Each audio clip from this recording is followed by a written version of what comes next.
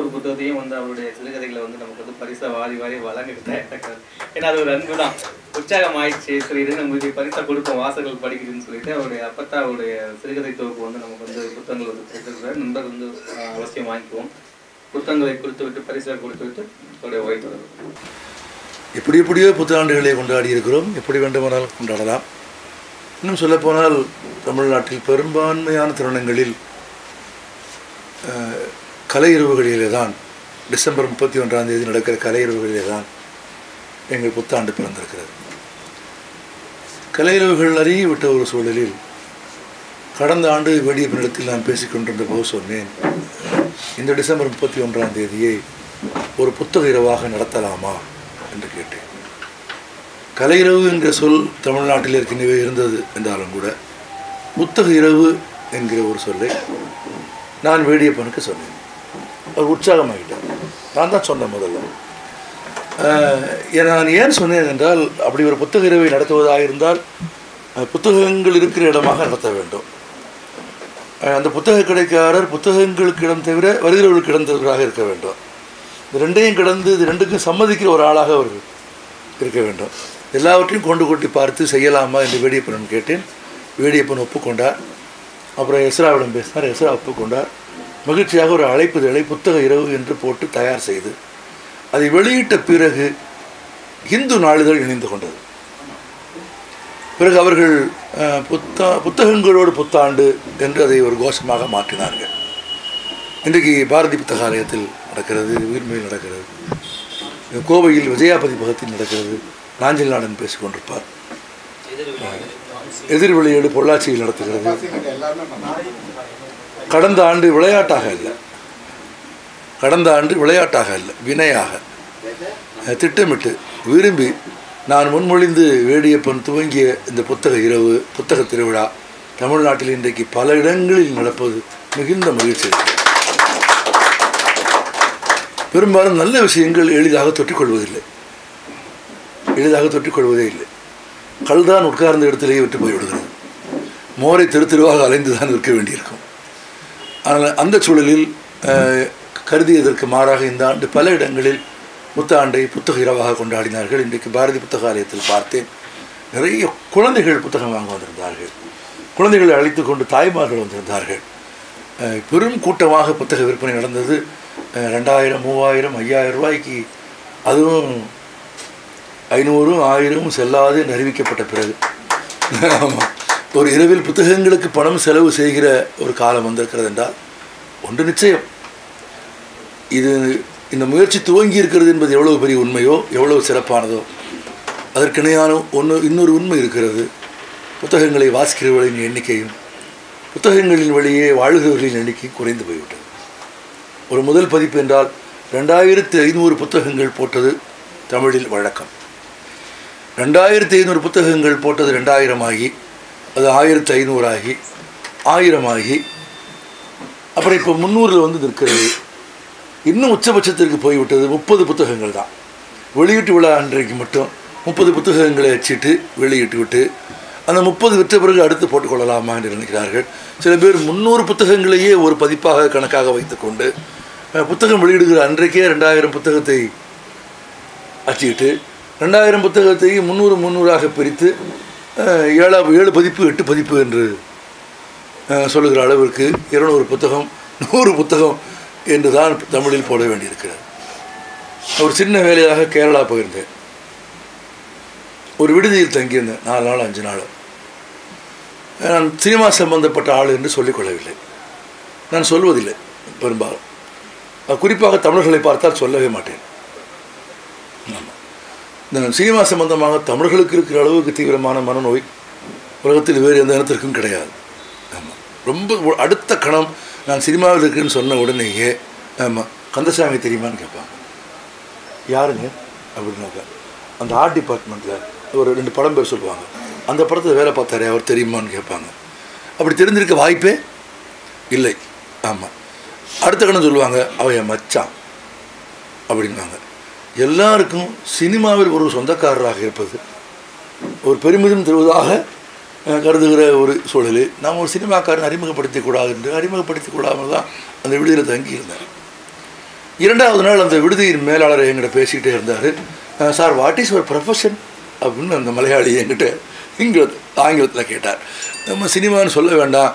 நம்மளும் ரெண்டு புத்தகம் எழுதியிருக்கோங்கிற நகைத்தில் ஐ எம் ரைட்டர் சொன்னேன். ஏன்னா அது ஒரு ஆபத்து வராது. தொந்தரவு இருக்காதுன்னு நினச்சி சொன்னேன். சொன்ன மாத்திரத்தில் அவர் இருக்கையை விட்டு எந்திரிச்சிட்டார்.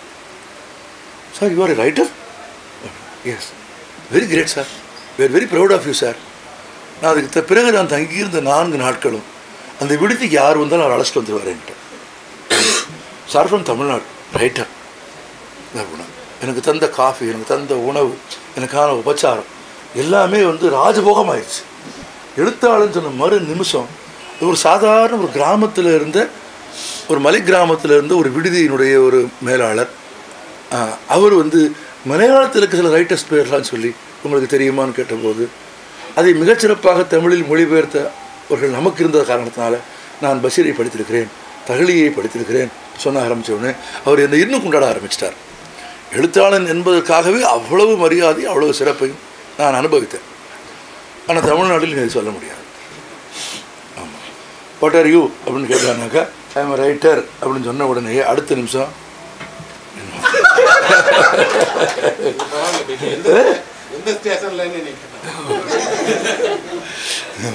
அது கூட வந்து ஒரு ஒரு உரையாடலாவது ஒரு வார்த்தையாவது இருக்குது அதில் எங்களை ரொம்ப சில பேர் கேட்பான்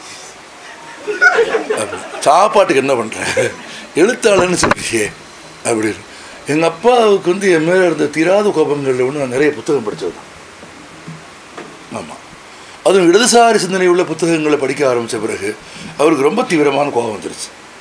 வீட்டில் சும்மா நானும் என் சகோதரிகள்லாம் உட்காந்து சீட் விளாண்டுக்கிட்டு இருக்கும்போது நான் தோற்று போயிட்டேன்னா எங்கள் அப்பா மேலே உட்காந்து பார்த்துட்டு கம்யூனிஸ்ட் தோற்று போயிட்டானா? அப்படின்னு சொல்லி சொல்லுவேன் ஒரு சீட்டு விளையாட்டில் நான் தோற்று போயிட்டா கூட ஏதோ சோசியலிசமே சித்தாந்தமே தோற்று போன ஒரு மகிழ்ச்சியும் தன் புத்தகங்களை வந்து தன் மகனை வந்து பெருசாக சீரழித்தது வந்து புத்தகங்கள் தான். ஆனால் உண்மையிலேயே என்ன எழுத்தின் பால் ஈர்த்த பெருமை உலகத்தில் யாருக்காவது உண்டென்றால் அது புதுமைப்புத்தனத்தை தான் உண்டு நான் உண்மையில் கொடுத்து வச்சவன் தான். நான் முத முதல்ல புனைவு இலக்கியம்னு படித்த முதல் புத்தகம் புதுமைப்புத்தனுடைய புத்தகம். அதுவும் காஞ்சனை தொகுப்பு. அதுவும் காஞ்சனை கதை. என் பதினாறு வயசில் என் பதின் பருவத்தில் எங்கள் வீட்டு மொட்டை மாடியில் உட்காந்து அந்த கதையை படிச்சுட்டு ஒரு கட்டத்துக்கு மேலே படிக்க முடியாமல் பயந்து கீழே வந்துட்டேன். ஒரு ஒரு அச்சம் மூட்டுகிற கதை தான் அது. அந்த வயசில் ஒரு சின்ன பயம் வந்துருச்சு. நம்ம பேய் கதை அது. ஏன்னா அவன் ஒரு புத்தகம் படிச்சுக்கிட்டு இருப்பான். படிச்சுக்கிட்டு இருக்க புத்தகத்தில் இருக்க விஷயங்களை அந்த பேய் வந்து அவன் மனைவிக்கு சொல்லிக்கிட்டு இருக்கும் அந்த படித்தோடனே எனக்கு வந்து நம்ம புத்தகம் படிச்சுட்ருக்கோம் அப்படின்ட்டு மூடி வச்சுட்டு இறங்கி கீழே வந்துட்டேன். வந்துட்டு எங்கள் வாத்தியார்கிட்ட வந்து கோவிந்தன் ஒரு தமிழாசிரியர் இருந்தார் அவர்கிட்ட சொன்னேன் சார் என்ன சார் அது பேய் கதையாக இருக்குது சார்? அதை படித்தா பயமாக இருந்துச்சு அப்படின்னு. அந்த புத்தகத்தில் முதல்ல ஒரு முன்னுரைன்னு ஒன்று போட்டிருக்க படிச்சியா? அப்படின்னு கேட்டார். இல்லை சார் நான் அதை படிக்கலை. அப்படின்னு. முதல்ல எப்போவுமே எந்த புத்தகத்தை எடுத்தாலும் முன்னுரையை படிக்கணும். யார் புத்தகம் போட்டிருக்கா? என்ன விலை? எந்த வருஷம் வந்துச்சு? இதெல்லாம் எனக்கு புத்தகங்களை கையில் எடுத்தால் அப்புறம் தான் அது இங்கிலீஷில் அழகாக சொல்லுவாங்க how to cover a book அப்படின்னா from cover to cover cover to cover ஒரு புத்தகத்தை நீங்கள் வாசிக்கணும். முன்னுரையை முதல்ல படித்தியான்னு கேட்டார். இல்லை அப்படின்னு. முன்னுரையை படித்து இந்த கதையை படி அப்படின்னா முன்னுரையில் அந்த கதையை பற்றி புதுமை பற்றி சொல்கிறார் புதுமை பற்றி கேட்குறாங்க பேய் பிசாசுகளை பற்றி ஒரு கதை எழுதியிருக்கீங்களே உங்களுக்கு நம்பிக்கை உண்டா என்று எல்லோரும் என்னை கேட்கிறார்கள். அனாசயமாக அனாசயமா அனாசாயமாக ஒரு பதில் சொல்கிறார் புதுமை பத்தேன். நம்பிக்கை இருக்கிறதோ இல்லையோ பயம் இருக்கிறது. அப்படின்னு சாதாரணமாக சொல்லிட்டு போயிடுறார் நம்பிக்கை இருக்கிறது இல்லையோ பயம் இருக்கிறது என்கிற அந்த பதில் தான் எனக்கு பயத்தை போக்கிய பதில். ஆமாம் அது மனித மனதை படித்து ஒரு ஒன்றை புதுமை பற்றி எழுதுகிறார். அப்புறம் வாசிக்க வாசிக்க எஸ்ரா சொல்கிறது மாதிரி வாசிப்பு தான் எழுத்தில் கொண்டு வந்து நிறுத்தியது. வாசிப்பு தான் விசாரப்படுத்தியது என் என் கையில் ஒன்று திருடு போய்விட்டது நான் ஒரு கதையை எழுதியிருப்பேன். ஆமாம் எனக்கு ரொம்ப கையில் மீது எனக்கு ரொம்ப ஆசை இருந்தது. ஏன்னா தென் தமிழ்நாட்டில் ஒரு தலைமுறையில் வீடுகளில் குறும்பாக இந்து குடும்பங்களில் பையன்கள் கையில் கட்டுவதை விரும்ப மாட்டார்கள். ஆமாம் அது முஸ்லீம்களின் உடை என்பதாலேயே இந்து வீடுகளில் கட்டணம் மதிக்க மாட்டாங்க. அது தடை விதிக்கப்பட்ட வீடுகளில் எங்கள் வீடு ஒன்று ஆமாம் கையில் கட்டக்கூடாது. வேஷ்டி தான் கட்டணும். வேட்டியை விட ஒரு ஆபத்தான உடை கிடையாது. அது இரவில் படுத்து பதின் பருவத்தில் படுத்து தூங்கி எந்திருக்கிற ஒரு ஆளுக்கு வேட்டியை போல ஒரு மானங்கட்ட உடை உலகத்திலேயே கிடையாது. ஆமாம் நீங்கள் எவ்வளவு சிறப்பாக அதை கட்டி கொண்டாலும் அது விலகிறோம். ஆமாம் அது விலகுவதற்காகவே கண்டுபிடிக்கப்பட்ட ஆடைன்னு அது நம்ம பண்பாட்டில் இருக்குது எல்லாம் பகலில் தான் கட்டலாம். நடந்து போகும்போது கட்டலாம். நைட்டு தூங்கும்போது வேட்டியை கட்டிட்டு படுக்க அது ரிஸ்க் தான். ஆமாம் எனக்கு கட்டிட்டு படுக்கிறவனுக்கு ஒரு ரிஸ்க்கும் கிடையாது. சுற்றி இருக்கிறவனுக்கு தானே ரிஸ்க் மற்றவர்களுடைய பாதுகாப்புலையும் மற்றவர்களுடைய எதிர்காலத்தையும் நமக்கு நம்பிக்கை இருந்ததுன்னா நம்ம செய்ய மாட்டோம். நான் எனக்கு வேட்டி கட்டவே பிடிக்காது ஆனால் வேட்டி தான் கட்ட சொல்லுவாங்க. லுங்கி என் சம்பளத்தில் நான் வாங்கினது லுங்கி தான். என் சம்பளத்தில் நான் முதல்ல போய் வாங்கினது ஒரு லுங்கி. அப்போ ராமநாதபுரத்தில் சிலான்லேருந்து லுங்கி வரும். ஆமாம் இலங்கையில எல்லாம் யுத்தம்லாம் நடக்காத ஒரு காலத்தில் அங்கேருந்து சோப்பும் லுங்கியும் வரும். அந்த லுங்கி எவ்வளோ மென்மையாக இருக்கும்னா முட்டை முட்டையை உடைச்ச உடனே அதுக்குள்ளே ஒரு சின்ன ஒரு வெள்ளைத்தோல் இருக்கும்ல. அந்த முட்டைக்குள்ளே இருக்க வெள்ளைத்தோல் மாதிரி அந்த லுங்கி இருக்கும்.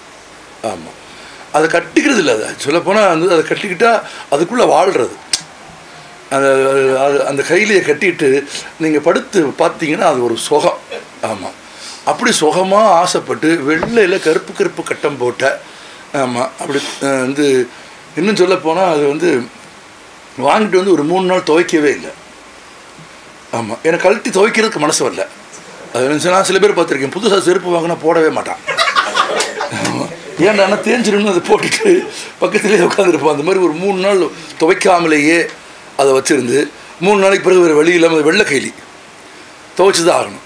துவைச்சி காய போட்டு ஆஃபீஸுக்கு போனதுக்கு பிறகும் கொடியில் அது ஆடிக்கிட்டே இருக்குது எங்கள் ஆஃபீஸில் அப்படியே மனம் கவர்ந்து அந்த லுங்கி காணா போயிடுச்சு ஆமாம் அது நமக்கு உடமையான ஒரு பொருள் காணா போச்சுன்னா நமக்கு விருப்பமான ஒரு காணா போச்சுன்னா யாரை வேணால் சந்தேகிக்கிற அளவுக்கு மனது கீழ்த்தரமான இடத்துக்கு போயிடுது.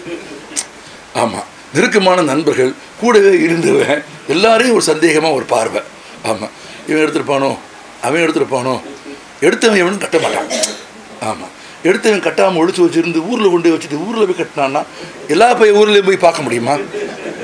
சரி அப்படி நம்ம தேடி போகும்போது அவன் கட்டியிருப்பான் அதை இவ்வளவு கேள்வி இருக்குது ஆனால் மனசு லுங்கி தேடிக்கிட்டே இருக்குது பார்த்துக்கவே கிடைக்கவே இல்லை. எனக்கும் இவருக்கும் ஒரே வாத்தியார் தான். எஸ். ஏ. பெருமாள். இன்றைக்கி செம்மலர் பத்திரிகையினுடைய ஆசிரியர் அவர்.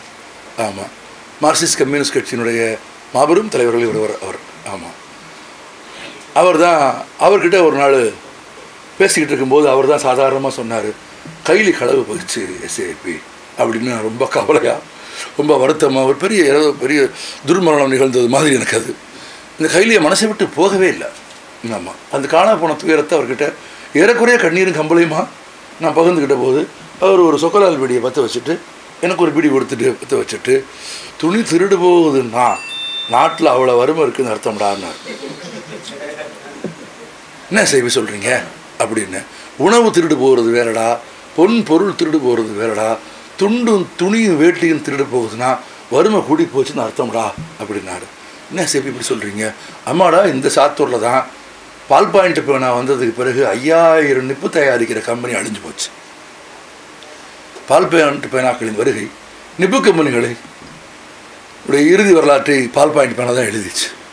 ஆமாம் மெழுகு அடைக்கப்பட்ட சிறிய தீப்பெட்டிகள் வர ஆரம்பித்த பிறகு கையால் அடுக்குகிற தீ பெட்டிகளை வைத்து குடிசை தொழில் போல வீடுகளில் செய்து கொண்டிருந்த பல்லாயிரக்கணக்கான குடும்பங்களில் வாழ்க்கை அழிந்து போனது. மெழுகு தீப்பெட்டிகளின் வர்த்தகத்திற்காகவே மாபெரும் சந்தையை அந்த தொழிலை உருவாக்கிய முதலாளிகள் செய்தார்கள். அந்த காலகட்டத்தில் கையால் தீக்குச்சிகளை அடுக்குகிற சிறிய குழந்தை உழைப்பாளிகள் பெண்கள் அந்த வேலையை செய்வதன் வழியாக கந்தகத்தையும் பொட்டாசியத்தையும் கையாளுவதன் வழியாக அவர்கள் கைகளில் எப்படி சிறங்கு வருகிறது எப்படி புண் வருகிறது எப்படி வேலைக்கு போகாமல் பள்ளிக்கு போகாமல் படிக்காமல் பச்சை குழந்தைகளை இந்த வேலைக்கு பயன்படுத்துகிறார்கள் என்பதை பார்த்தவர்கள் ஒரு தீப்பெட்டியை வாழ்நாளில் வாங்கிவிட மாட்டார்கள். அப்படி ஒரு வலிமையான ஒரு ஆவணப்படத்தை நான் அந்த மாவட்டத்திலேயே பார்த்தேன்.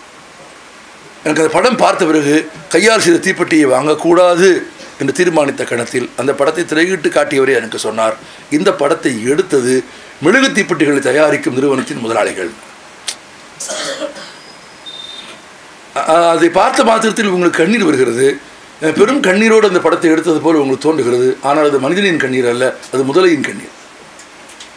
ஆமாம் கண்ணீர் முதலைகளுக்கு வரும் தானே அந்த முதலையின் கண்ணீரின் விளைவாக மெழுகு தீப்பெட்டிகள் சந்தைக்கு வந்துவிட்ட காலத்தில் கையால் எடுக்கும் தீப்பெட்டிகள் தொழில் நசிந்து ஒரே சமயத்தில் அந்த நகரத்தின் இரண்டு பெரிய தொழில்கள் அழிந்து பல்லாயிரக்கணக்கானவர்கள் வேலையிட்டு கிடந்த சூழலில் உணவுக்கும் மாற்று துணிக்கும் வழி இல்லாத காலத்தில் துணிகள் திருட்டு போகும் என்று அவர் சொல்லிவிட்டு போன அடுத்த வாரத்தில் ஆற்றுக்கு சாத்தூரில் வைப்பாற்றுக்கு குளிக்க போனால் வைப்பார் ஒரு வித்தியாசமான ஆறு அங்கே வந்து மண்ணு தோண்டுனா மண் தோண்டின ஒரு பத்து பன்னெண்டாவது அடியில் அப்படி தெளிஞ்ச தண்ணி கிடைக்கும். ஆமாம் அதில் வந்து ஒரு விஷயம் நான் அப்புறம் சொல்கிறேன் அந்த ஆற்றுக்கு நான் குளிக்க போகிற போது அதே கையிலே கட்டிட்டு ஒருத்தர் எதுக்க வந்தான்? அப்படி ரெண்டு பேரும் எதுக்கு இருக்க சந்திச்சுக்கிறோம். எனக்கு வந்து அவனை பார்த்த மாத்திரத்தில் அது என் கையில் எனக்கு தெரிஞ்சு போச்சு. ஆமாம் அந்த கணம் ஒரு பெரும் கோபம் வந்த கணமே ஆமாம் எஸ்ஏபி சொன்ன வார்த்தைகள் எல்லாம் அந்த நினைவுக்கு வந்தது. ஆமாம் உணவுக்கும் வாழ்க்கைக்கும் வழி இல்லாமல் வேலையை இழந்து மாற்றுத் துணி இல்லாத ஒரு மனிதன் திருடி தன் இடுப்பில் கட்டி இருக்கிற துணியை நம்முடையது என்று எப்படி சொல்வது நேர்மையாகும். அவன் என்னை பார்த்த உடனே அவன் கொண்டு வந்து வாளியை கீழே வச்சுட்டான். என்னை எப்படி பார்த்தான். நான் அவனாவே பார்க்கல இங்கே தான் பார்த்துட்டு. நமக்கு என்ன புத்தி அப்போ வந்து தான் நின்றுச்சு ஆனால் அந்த அந்த அந்த அல்ப புத்தியையும் தாண்டி ஒரு ஒரு ஒரு செய்தி ஒரு நான் எனக்கு சொல்லப்பட்ட ஒரு அறிவு எனக்கு சொல்லப்பட்ட ஒரு செய்தி எனக்கு அப்படியே அவனுக்கு அப்படியே நான் பார்த்துட்டு அவனை நிமிர்ந்து பார்த்தேன். அவன் பேக்கெட்டை கீழே வச்சான் எல்லாத்தையும் கீழே வச்சான். அந்த லுங்கி அப்படியே அவுத்து விட்டான். அவுத்து விட்டுட்டு அப்படியே நின்னான். அவர் வேறுன்னு கிட்ட போனேன்.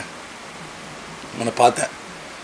கிட்ட போகிற வரையிலும் அது வந்து அந்த லுங்கிக்கு ஆசைப்படுகிற மனிதனாக தான் இருந்தேன். எனக்கு அது கிட்டே போகிற அந்த கணத்தில் அந்த நடந்த அந்த கணத்தில் இவன் வந்து இயலாமை இல்லாமை வேலையின்மை பசி துயரம் எல்லாம் தான் ஒரு மனிதனை குற்றம் செய்ய தோன்றுகிறது அவன் குற்றம் செய்திருக்கிறான் என்றால் அவன் திருடினான் என்றால் அது அவனது குற்றம் அல்ல அவனை அந்த இடத்திற்கு கொண்டு போய் வைத்த ஒரு சமூகத்தின் குற்றம் என்று உணர்ந்து கொண்ட மாத்திரத்தில் ஒரு சின்ன வெளிச்சம் ஒரு ஞானம் பிறந்த கணத்தில் அவன் தோளில் கை வச்சு நான் சொன்னேன் உனக்கு ரொம்ப நல்லா இருக்கு. உனக்கு ரொம்ப நல்லா இருக்குன்னு சொன்னேன். அவன் கண்ணெல்லாம் அப்படியே குளமாயிருச்சு. எனக்குள் ஏற்பட்ட அந்த மாற்றம் என் கண்களே குளமாகியது. நான் அப்படியே இறங்கி போனேன். அது ஆற்றுக்கு குளிக்க போகிற பாதை தான் இரக்கமான பாதை தான் ஆனால் மனம் உயர்வான திசையை நோக்கி போய் கொண்டிருந்தது. என்று நான் பின்னால் ஒரு கதையாக எழுதினேன். அப்போதான் நான் உணர்ந்து கொண்டேன்.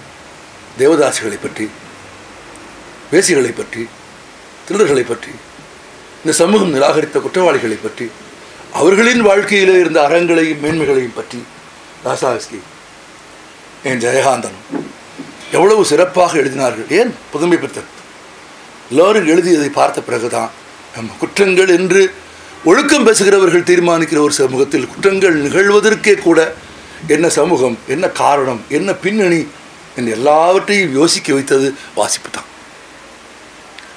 இரண்டு உலக மகாயுத்தங்களை நாம் யாரும் பார்த்ததில்லை. யுத்தங்களின் கொடுமை என்ன என்று நமக்கு தெரியாது. நம் கண் முன்னே ஒரு யுத்தம் தமிழ்நாட்டில் இந்தியாவில் நடந்ததில்லை. South of India or India was not at all a theatre for any war உலகின் எந்த யுத்தமும் நடக்கிற ஒரு காலமாக இந்தியாவும் தமிழ்நாடும் இருந்ததே இல்லை. நமக்கு ஒரு யுத்தம் யுத்தம் என்ன என்று நமக்கு தெரியாது. இந்த யுத்தம் யுத்தம் தெரிந்தவர்கள் யுத்தத்தால் வீழ்ந்தவர்கள் யுத்தத்தை சந்தித்தவர்கள் யுத்தத்தில் வென்றிலும் என்ற போதும் நின்றவர்கள் நம் காலத்திலே நமக்கு உண் இலங்கையிலே உண்டு ஈழத்திலே உண்டு. நமக்கு இல்லை அது. ஆனால் யுத்தங்களுக்கு எதிராக சமாதானத்திற்கு ஆதரவாக உலகில் யுத்தங்களுக்கு எதிரான ஒரு மனோபாவத்தை எனக்கு உருவாக்கியது சோவியத் இலக்கியங்கள் தான். சோவியத் இலக்கியங்கள் உருவாக்கியது மாதிரி எதுவுமே உருவாக்கியதில்லை. ஆமாம் புத்தக வாசிப்பு ஒரு மனிதனை என்ன ஆக்கும் என்பதை மக்சிம் கார்கின் தாய் நாவலில் இருந்து நீங்கள் தெரிந்து கொள்ளலாம். அது முதல் ஒரு சாப்டர் நீங்கள் தயவு செஞ்சு படித்து பார்க்கணும். அன்றைக்கு சோவியத் யூனியனில் அன்றைக்கு இருந்த ஒன்றுபட்ட ருசியா அன்று அன்றைக்கு இருந்த ருசியாவில் இளைஞர்கள் எப்படி இருந்தார்கள்? குடித்தார்கள். குடித்து கொண்டே இருந்தார்கள். ஆனால் தேவாலயங்களுக்கு போனார்கள். ஞாயிற்றுக்கிழமையில். உரத்த குரலில் பேசிக் கொண்டார்கள் தாயை அடித்தார்கள் சகோதரியை அடித்தார்கள் சண்டையிட்டுக் கொண்டார்கள் சூதாடினார்கள். ஒரு சமூகத்தில் செய்யத்தகாத அனைத்து வாழ்க்கையையும் இளைஞர்கள் வாழ்ந்து கொண்டிருந்த ஒரு காலத்தில் கார்கி தான் எழுதிய நாவலில் தன் கதாபாத்திரமான பாவலை அறிமுகப்படுத்துகிற போது பாவலுக்கு குடிக்கிற பழக்கம் இல்லை. ஆனால் பாவல் கோவிலுக்கும் போக மாட்டான். பாவல் அம்மாவை அடித்ததே இல்லை. இன்னும் சொல்ல போனால் அம்மாவிடத்தில் மென்மையாக பேசுகிறான். பாவல் அம்மாவுக்கு வீட்டு வேலைகளில் உதவி செய்கிறான். வேலைக்கு போகிறான் சம்பளம் கொண்டு வந்து கொடுக்குறான். ரொம்ப ஒழுக்கமான நேர்மையான ஒரு உயர்ந்த வாழ்க்கையை பாவல் வாழ்கிறான். ஆனால் கார்கி அற்புதமாக எழுதினார் அந்த தாய் பெரும் கவலை உள்ளாகிறாள். என்னன்னா ஊரில் இருக்கிற எந்த பையன் மாதிரியும் தன் பையன் இல்லைங்கிறது அவளுக்கு ரொம்ப வருத்தமாக இருக்கு. மென்மையாக பேசுகிறான் அன்பாக இருக்கிறான் உதவி செய்கிறான் திட்ட மாட்டேங்கிறான் அடிக்க மாட்டேங்கிறான் குடிக்க மாட்டேங்கிறான் ஏன் இப்படி மகன் இருக்கான் அப்படின்னு ஒரே தாய் கவலையாக போயிடுச்சு. என்ன ஒரே காரணம்னா பையன் படிக்கிறான். பையன் படிக்கிறான். படிப்பும் புத்தகமும் அவனிடம் இந்த மாற்றங்களை ஏற்படுத்துவது என் தாய் பார்க்கிறாள். அதுக்கு அவளுக்கு பெரும் கவலை உண்டாக்குகிறது. கொஞ்ச நாள்லேயே படித்து கொண்டிருந்த கொஞ்சம் புத்த கொஞ்சமாக புத்தகங்களின் எண்ணிக்கை அதிகமாகி பாவலின் நண்பன் ஒரு தச்சன் கொடுத்த ஒரு புத்தக அலமாரியில் அந்த வீட்டில் நிறைய புத்தகங்கள் சேர ஆரம்பித்தது தோமுசி தான் தமிழ் மொழிபெயர்ப்பா தோமுசி தமிழில் மொழிபெயர்த்திருப்பார். அது ரகுநாதன். ஆமாம் மக்சிம் கார்கி எப்படி எழுதினார்னு எனக்கு தெரியாது. ஆனால் தமிழில் மொழிபெயர்க்கிற போது தோமூசி எழுதினார் புத்தகங்கள் நிறைந்த அந்த வீடு மங்களகரமாக இருந்தது என்று எழுதியிருப்பார். நிச்சயமாக மங்களகரமாக என்ற சொல் வந்து சோவியத் மண்ணில் இருந்திருக்க வாய்ப்பில்லை. இந்த இந்த கணம் இந்த நாள் ஒரு புத்தகம் வெளியானது ஒரு புத்தகம் பரிசு கொடுத்தது எல்லாமே நான் அந்த கணத்தில் நான் இஸ்ராவிடம் எஸ்ராவிடம் சொன்னேன் மங்களகரமாக இருக்கிறது என்று சொன்னேன். அந்த சொல் என் சொல்ல அல்ல தோமுசியின் சொல். ஆமாம் இப்படி வாசிப்பு தான் மனிதர்களை விசாரப்படுத்துகிறது. வாசிப்பு எல்லாவற்றையும் தாண்டி நான் வந்து இந்த ஒரு ரகசியமாக கூட உங்களுக்கு சொல்ல விரும்புகிறேன். ஒரு மனித மனதின் இளமையை தக்க வைக்கிறது. ஆமாம் மனதிற்கு முதுமை வராமல் பாதுகாக்கிற வலிமை இலக்கியங்களுக்கு உண்டு. மனதை இளமையாக வைத்திருப்போம் தோற்றத்திற்கு இளமை போகும் முதுமை வருமா? வரும். அது அது காலம் நம் மீது நடந்து போவதால். காலச்சக்கரம் நம் மீது உருண்டு போவதால் தோற்றத்தில் மாற்றம் வருவதோ நீங்கள் முதுமை பெறுவதோ முதுமை ஆவதோ தோற்றத்தில் உருமாற்றங்கள் பெறுவதையோ நீங்கள் தவிர்க்க முடியாது. ஆனால் உள்ளே இயங்கி கொண்டிருக்கிற ஒரு மனம் இருக்கிறது பாருங்கள். அந்த மனத்தை இளமையாக வைத்திருப்பதற்கு வாசிப்புத்தான் உதவும் அது மாதிரி அது அப்படியான வாசகர்களில் ஒருத்தர் தான் கனகசபை. ஆமாம் அவர் அவர் அவர் சொல்ல தவறி அல்லது சொல்லாமல் விட்டுட்டார். எல்லா எழுத்தாளர்கள் வீட்டுக்கும் கனகசபை போவாங்க என்பது மட்டுமல்ல. எல்லா எழுத்தாளர்கள் எழுதிய எழுத்தும் அவனுக்கு மனனமாக இருக்கும். ஆமாம் எனக்கு தெரிய தமிழில் மிக அதிகமாக எழுதி குழுவித்த தன் வாசகர்களை வா- மிகப்பெரிய வாசகர்களை தனக்கு ரசிகர்களாக வைத்திருந்த ஜேகே சிலரை வாசகர்களாக அண்ட கூட விட மாட்டார். ஆமாம் ஜேகேயே பார்த்து வியந்த ஒரு ஆள் கனகசபை. ஏன்னா ஜேகே தன் வாழ்நாளில் எழுதிய அனைத்து படைப்புகளையும் ஆண்டு வாரியாக தலைப்பு வாரியாக சொல்லக்கூடிய ஆற்றல் கனகசபைக்கு உண்டா? உண்டு. கனகசபை தன் வீட்டுக்கு வந்தால் தமிழில் எழுதப்பட்ட நேற்று பிரசுரமான ஒரு புத்தகத்தை கூட படித்துவிட்டு அந்த புத்தகத்தின் சாராம்சத்தை ஆய்வு செய்வது மட்டுமல்லாமல் அந்த புத்தகத்தின் உள்ளடக்கத்தை பற்றி சொல்வது மட்டுமல்லாமல் அதில் இருக்கிற எழுத்து பிழைகளையும் எழுத்து கூட்டி எண்ணி சொல்லுகிற அளவிற்கு ஆழ்ந்த தீவிரமான எப்படி தான் நெய்கிற ஒரு பட்டுச்சேலையைப் போலவே வாசிக்கிற ஆற்றலுடைய கனகசபையை பார்த்த மாத்திரத்தில் பல படைப்பாளிகள் எழுத்தாளர்கள் தங்கள் புத்தகங்களை கனகசபைக்கு பார்த்ததும் பரிசு கொடுப்பார்கள். ஆமாம் அப்படி பரிசாக தந்த புத்தகங்களை ஒரு இரவுக்குள் ரெண்டு இரவுக்குள் இருபது இருபத்தி ரெண்டு புத்தகங்களை ஒரு இரவுக்குள் ரெண்டு இரவுக்குள் அல்லது மூன்று இரவுக்குள் படித்து முடித்துவிட்டு இந்த மூன்று நாளும் படிப்பதற்காக சாப்பிடாமல் அது அப்படிதான் செத்து போனான். ஆமாம் ஒரு தேநீர் குடிப்பான் ஒரு புகைப்பிடிப்பான் ஒரு தேநீர் குடிப்பான் ஒரு புகைப்பிடிப்பான் படிப்பான். சைதாப்பேட்டையில் ஜோன்ஸ் தெருவில் ஒரு சின்ன சந்துக்குள்ளே குடியிருந்தான். ஒரு தேநீர் குடிப்பான் ஒரு புகைப்பிடிப்பான் ஒரு புத்தகம் படிப்பான். ஒரு தேநீர் குடிப்பான் புத்தகம் படிப்பான். ரெண்டு மூன்று இரவுகளுக்குள் எல்லா புத்தகத்தையும் முடித்து விட்டு இரவு எட்டரை மணி ஒன்பது மணிக்கு ஒரு பெரிய பையோட என் வீட்டுக்கு வருவான். ஆமாம் வா சாப்பிட உட்காரு. ஆமாம் ஆமாண்ணே பசிக்குது. ஆமாம் எங்கள் வீட்டு சோறு போடுவாங்க சாப்பிடுவான். அந்த பெரிய ஒரு பை வச்சுருப்பான். இதெல்லாம் முடிஞ்சோன்னு சொல்லுவான். ஒரு ஒரு அஞ்சு எழுத்தாளர்கள் பேர் சொல்லுவான். ஆமாம் நான் இவங்க மூணு அவங்க அஞ்சு பேரையும் போய் பார்த்தேன். அஞ்சு பேரும் புஸ்தகம் கொடுத்தாங்க. அஞ்சு பேர் புஸ்தகம் படிச்சிட்டேன். என்ன? இதில் எப்படியும்னே ஒரு மூவாயிரம் ரூபாய்க்கு புத்தகம் இருக்குண்ணே ஆமாம் நீங்கள் வச்சுக்கண்ணே அப்படின்னு ஏடா தம்பி நீ படிச்சிட்டியா? நான் படித்து முடிச்சிட்டேண்ணே ஆமாம் இது எல்லா இதில் எல்லா புத்தகம் படிக்காதுண்ணே அப்படின்னா ஏன்டா தம்பி எப்படி சொல்கிற அப்படின்னா இல்லை நாலு புத்தகத்தை தூக்கி வெளியே வச்சுருவான். இந்த நாளையும் படிக்காதுண்ணே அப்படின்னா ஏன்டா தம்பி? அப்படின்னா படித்தா அது நல்லா இருக்காதுண்ணே ஆமாம் அது வந்து நம்ம நம்ம சொந்த வளர்ச்சிக்கு உதவாது. ஆமாம் அதனால் இந்த நாளையை விட்டுட்டு மீதியை பூரா படின்னு படிக்க வாசிக்க கொடுத்த புத்தகங்களிலே வாசிக்க தகுதியற்ற புத்தகங்களை பிரித்து வெளியே தூக்கி வச்சுட்டு மிச்ச புத்தகங்களை பூரா கொடுத்துட்டு அண்ணே ஒரு இரநூத்தி முப்பது ரூபா கொடு அப்படின்னு கேட்பேன். ஏன்னா தம்பி இரநூத்தி முப்பது ரூபா அப்படின்னு? பஸ்ஸுக்கு? அப்படின்னு வாங்கி போயிடுவான். ஆமாம் ஒரு ஒரு முறை புத்தகம் கொண்டு கொடுத்து பணம் கேட்பானா? அதுவும் கிடையாது. ஒரு கணக்கும் கிடையாது. எப்போ எப்போ வந்தாலும் எனக்கு வந்து ரெண்டாயிரம் ரூபாய்க்கு மூவாயிரம் ரூபாய் நாலாயிரம் ரூபாய் பெருமானம் உள்ள புத்தகங்களை ஒரு இருபது ஆண்டுகளில் எனக்கான புத்தகங்களை கொண்டு வந்து கொடுக்குறவனும் புத்தகங்களை வாசிக்க சொல்கிறவனுமாக கனகசபை இருந்தான். அவன் மரணம் செய்தி எங்களுக்கு ரொம்ப தாமதமாக வந்தது. போக முடியவில்லை. ஆனால் கனகசபை எழுத்தாளர்களை நேசித்தவர் மட்டுமல்ல மாபெரும் வாசகர். வாசிப்பதற்காகவே தன் வாழ்நாளை அப்படியே இழந்தவன். வாசிப்பு மட்டும் இல்லை வெறும் வாசிப்பு கிடையாது. அவர் துல்லியமான வாசிப்பு. வாசித்த களத்திலேயே அந்த படைப்பாளி தேர்வானா தேர மாட்டானா அவன் வலதுசாரியா இடதுசாரியா? பிற்போக்கா முற்போக்கா புறம்போக்கா? எல்லாவற்றையும் துல்லியமாக கணக்கிட்டு என்ன அதன் மீது தீர்க்கமான ஒரு விமர்சனத்தை மிகச் சுருக்கமான ஆழமான ஒரு விமர்சனத்தை சொல்வார். அவ அவன் அவனோடு உரையாடி அவனோடு உரையாடியதில் இன்பம் கண்டிருக்கிறார் ஜேகே எனக்கு தெரியும். ஏன்னா அவருக்கு எப்படி வாசகர்கள் நெருக்கமான நண்பர்களாக இருந்தார்களோ அதுக்கு இணையாக வாசகர்களை எங்கே வைக்க வேண்டும் என்பதில் ஜெயகாந்தனுக்கு இணை யாரும் கிடையாது.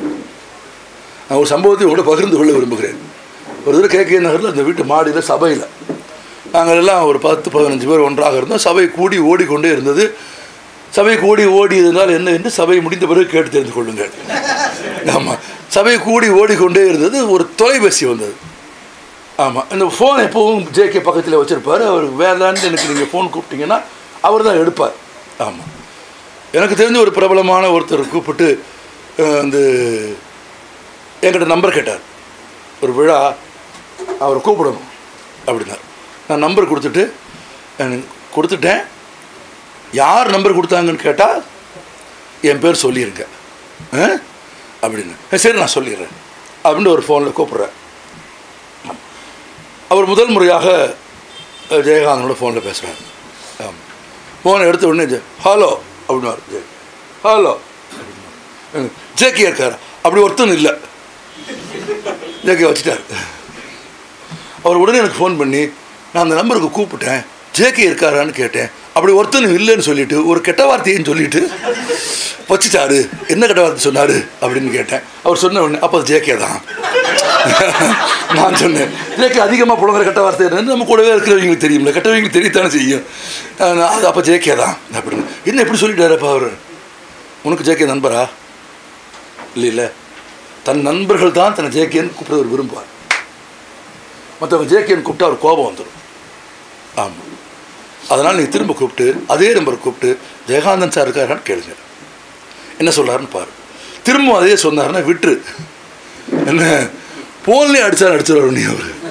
அப்படின்னு. இவன் திரும்ப ரெண்டாவது முறை கூப்பிட்டு ஜெயகாந்தன் சார் இருக்காருன்னு பேசுகிறேன் சொல்லுங்க. அப்படின்னு அப்புறம் தான் ஒரே உரையாடலே நடக்குது. பஸ்ஸில் ஏறி வராரு. ஆழ்வார்பேட்டை ஆஃபீஸை முடிச்சுட்டு பஸ்ஸில் ஏறி வராரு. பஸ்ஸில் ஒரு வாசகம் அவரை பார்த்துறான். அவனுக்கு அவரை பார்த்ததுமே அவருக்கு ஒரு படைப்பாளி நெருக்கத்தில் பார்த்த சந்தோஷத்தில் எந்திரிச்சு நமஸ்காரம் அப்படிங்கிறான். நமஸ்காரம் உட்காரு அப்படிங்களா நீங்கள் உட்காருங்க. இவ்வளோ நேரம் உட்காந்துருந்தேன் நீங்கள் உட்காருங்க. யார்? அப்படி தான் பேசுவார் ஜேக்கே நீங்கள் உட்காருங்க. அப்படின்னா இல்லை நீங்கள் நிற்கிறீங்க ஆமாம் நிற்கிறேன் உட்காருங்க. அப்படின்னா இல்லை நீங்கள் நிற்கிறப்போ நான் எப்படி உட்காருவேன்? நான் நிற்கும்போது நீ உட்காரத்தான் வேணும். உட்கார்.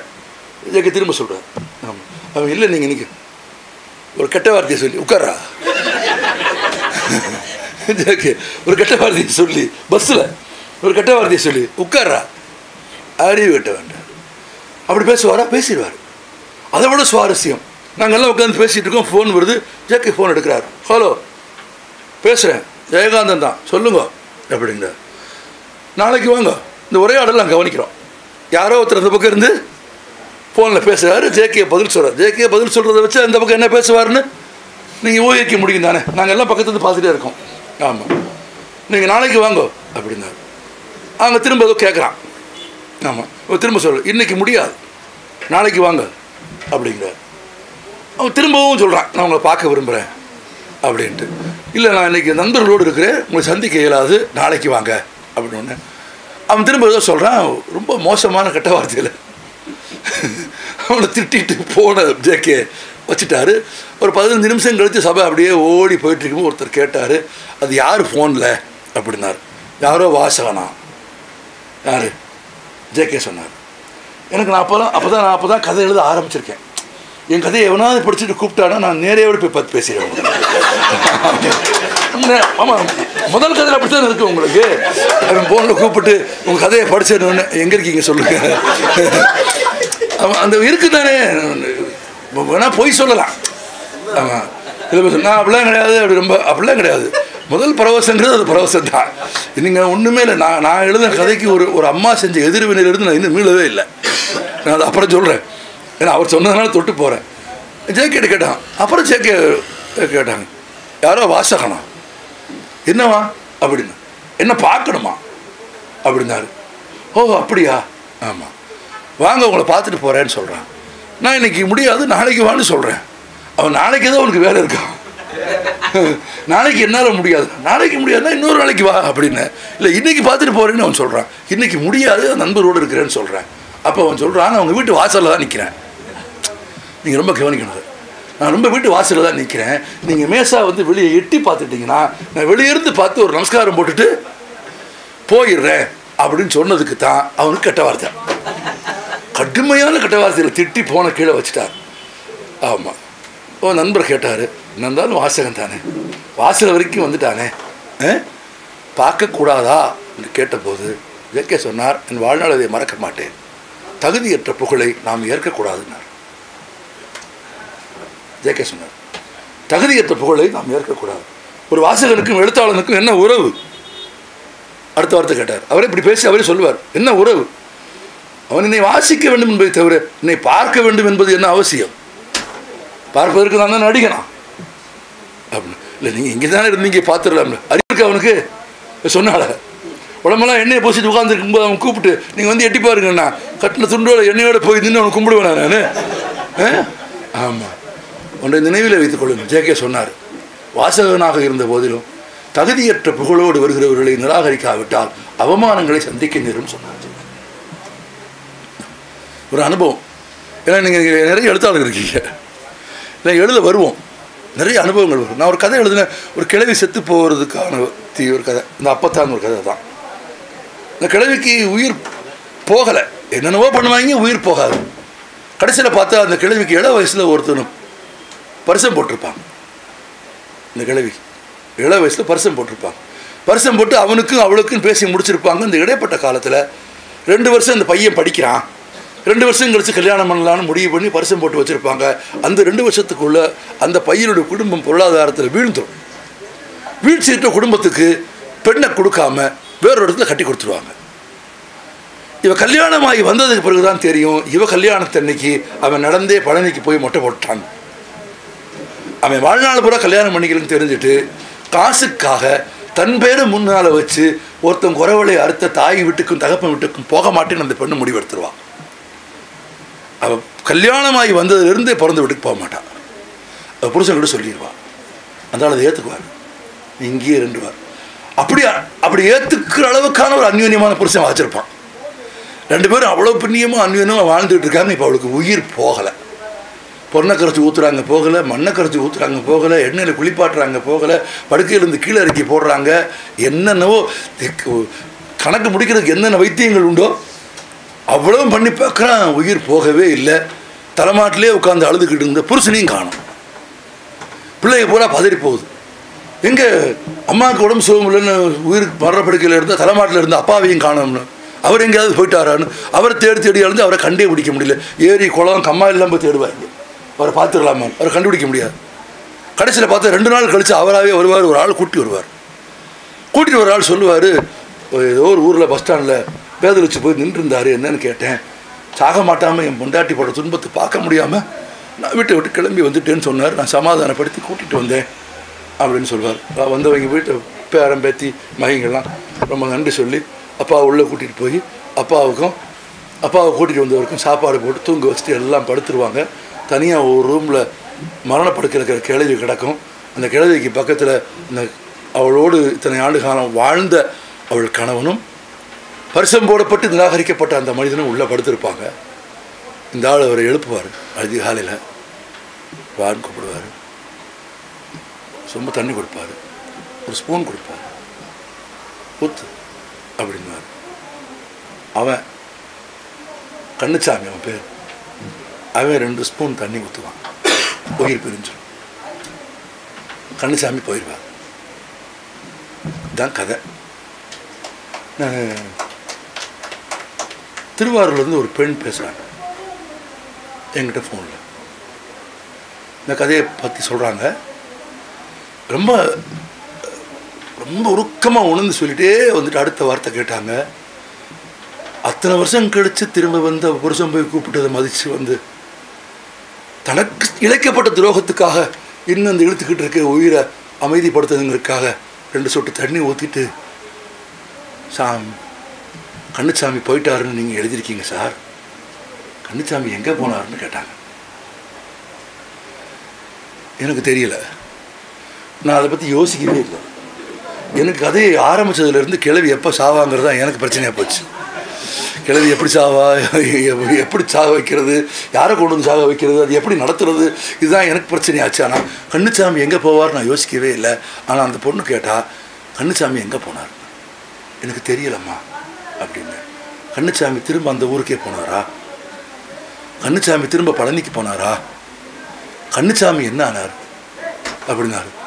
இல்லைம்மா எனக்கு இன்னும் இப்போவும் எனக்கு தெரியலம்மா அப்படின்னு அந்த அம்மா கடைசியாக போன வைக்கும்போது சொன்னாங்க கண்ணுச்சாமிக்கு என்ன ஆச்சுன்னு ஒரு மறுகதை எழுதுங்க சார் அப்படின்னா வாசகர்கள் எங்கேயோ நான் அப்படித்தான் எஸ்ராவுடைய ஒரு கதைக்கு நான் மறுகதை எழுதுறேன்னு சொன்னேன். திரக்கத்து முயல்னு ஒரு கதை அட்டகாசமான கதை அவர் எழுதின கதை. ஒரு முயல் எஸ்ரா வீட்டுக்கு வந்துடும் ஆமாம் எஸ்ரா அதை ரிசீவ் பண்ணி உபசரிப்பார்.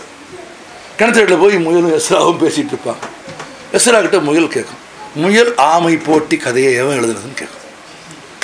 ஆமாம் அப்படி ஒரு போட்டி உலகத்தில் நடக்கவே இல்லை. நாங்கள் தோக்கவே இல்லை. நடக்காத ஒரு போட்டியை எ- அதுவும் ஆமைக்கிட்ட நாங்கள் தோற்று போனதா? எங்களை அவமதித்த ஒரு கதையை நீங்கள் மனுஷங்க எழுதி புழக்கத்தை விட்டுருக்கீங்களே நாங்கள் எப்போவாது என்ன குழந்தைகளுக்கு அவங்க கிரேக்கத்து முயல் தான் அந்த கதை. அந்த கதையை பற்றி நான் உங்கள்கிட்ட பேசினேன். கதை படிச்சுட்டு உடனே நான் சார் கூட பேசினேன். அந்த முயல் கேட்கும் எப்போவாது என்னைக்காவது மனிதர்களை அவமதித்து ஒரு கதையை எழுதி எங்கள் குழந்தைகள் நாங்கள் சொல்லியிருக்கோமா? ஆ? இப்படி ஒரு கதையை மனிதர்கள் எழுதி புழக்கத்தில் விடுறது நியாயமா? நீங்கள் ஒரு எழுத்தாளர்னு கேள்விப்பட்டு தான் நியாயம் கேட்க வந்தேன். எஸ்ரா ஒரு நியாயமான எழுத்தாளர் இல்லை எஸ்ரா சொல்லுவார் அந்த கதையை நான் எழுதலை. ஆமாம் நான் எழுதாத கதைக்கு நான் என்ன பண்ண முடியும்? அதெல்லாம் சொல்லாத. அது ஈசாப் எழுதின கதை. நிறைவாக வாழ்க்கிறேன்.